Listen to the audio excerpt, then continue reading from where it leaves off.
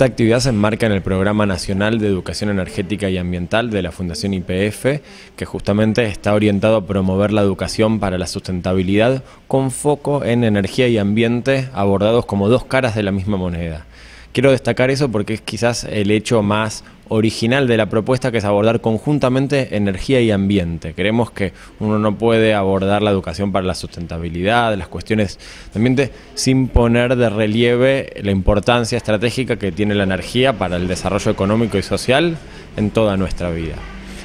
Así que en el marco de este programa venimos colaborando con la provincia de Río Negro hace ya varios años. Mercedes Jara Traquia es graduada del Seminario Nacional, a partir de ahí, de ese diálogo que fue muy fructífero, surgió el interés de la provincia por desarrollar con el acompañamiento de la Fundación IPF una primera iniciativa que se llevó a cabo el año pasado, como Mercedes comentaba recién, donde participaron docentes de los institutos de formación docente de toda la provincia. Y este año, como también señalaba Mercedes, redoblamos la apuesta porque el foco ha estado puesto en la implementación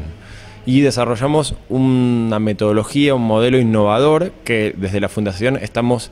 probando acá por primera vez en Río Negro y que luego vamos a replicar en distintas provincias del país, que tiene que ver con el trabajo conjunto entre los institutos de formación docente, las escuelas primarias, los docentes de escuela primaria y sus equipos directivos donde ya no se trata solamente de una capacitación, de un taller de formación, sino concretamente desarrollos de proyectos para la implementación transversalmente en las escuelas. Y ahí hemos aportado los contenidos de Voz y la Energía que viene desarrollando la Fundación IPF, que están disponibles en una página web y en distintas herramientas que están también disponibles para todo el país.